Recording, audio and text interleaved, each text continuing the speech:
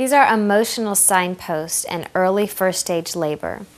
Most women feel really excited, and they're excited because this is it. They're finally in labor, they're finally going to get to meet their baby soon.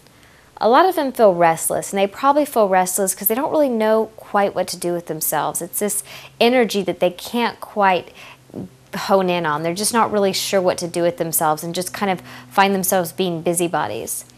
They really feel in control at this point. The labor pains are manageable, they can get through them easy, they're feeling really confident right now.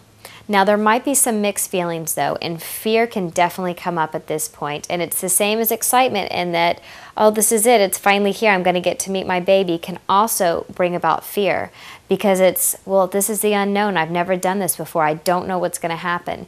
Even if you have had a baby before, you still don't know what's going to happen for this one.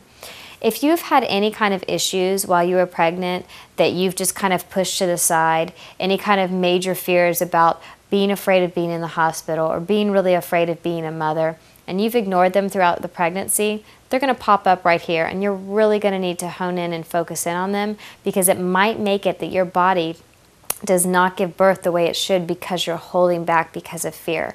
So if anything keeps coming up, try to work through it at this time if you haven't already. Usually women want their companions nearby them at this point, but they don't really need them for anything.